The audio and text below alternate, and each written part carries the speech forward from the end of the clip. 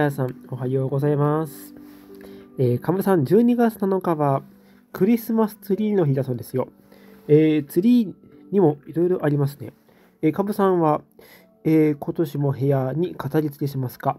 私は白いツリーが気になっています。白いツリー。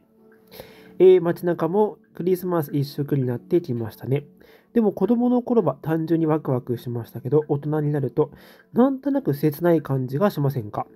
えー私だけですか？カムさん、キュンとしませんか？ほう。なるほど。あんまり切なくはなりませんね。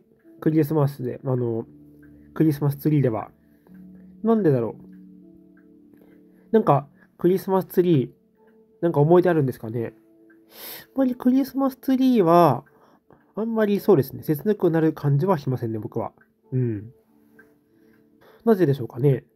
うん。カブさん、アメリカでは犬に謎の呼吸器疾患が増えているそうですよ。新しい病気の可能性があるそうです。また、これが世界に広まらないといいですね。うん。カブさんのワンコさんたちも注意ですね。うーん、なるほど。これは、謎の呼吸し呼吸器疾患。怖いですね、ちょっとね。うん。カブさん、ベルギーでは聖ニコラウスの日は、今も根強く風習が残っているそうですよ。うん。ベルギーではクリスマスと同じくらい楽しみみたいです。だからあのリンクにコスプレの人たちがいたんですね。子供たちにおかに菓子を配ったりするそうですよ。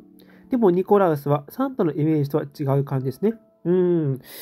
サンタさんのね、日本で言うとこのサンタとはちょっと違いますね。どちらかというと、教会色が強いと言いますかね。うん。はい。サラカデさんおはようございます。本日12月6日は音の日です。うん。私は音へのこだわりは、あの、鉄道分野に関することを避ければあまりありませんが、ピアノを習っていたこともあり、えピアノを習っていた約8年間で少しだけ音感が鍛えられたんじゃないかと感じることがあります。いつもよく聞くえー物音の音のキーがいつもと違うと気がつくことがあります。うん。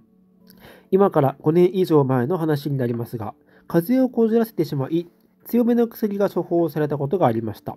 その際に、フラビリック錠という風邪薬が処方された、処方され、服用したら風邪の症状は一気に回復したものの、普段聞いている音が1オクターブほど低い音で聞こえるという変な現象が起きました。